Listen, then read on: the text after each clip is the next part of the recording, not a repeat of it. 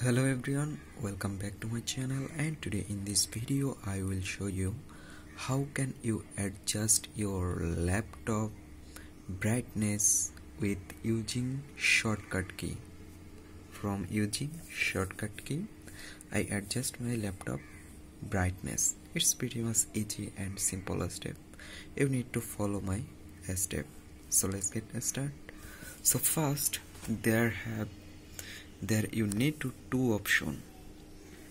There have you can see a option you can see a key fn and another two key is this one is left key and right key.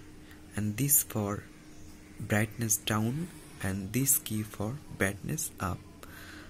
And I want to up my brightness.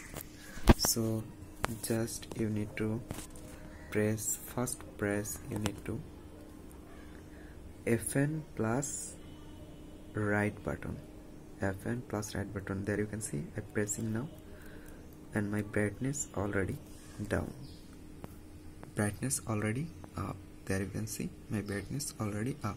And if you want to down your laptop brightness then press Fn plus left key then there you can see brightness going down brightness going down.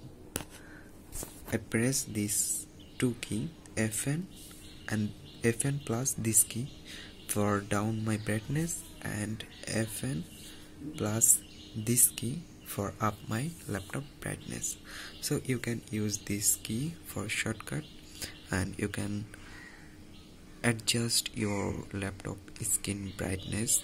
I hope you can understand. It's pretty much easy and simple.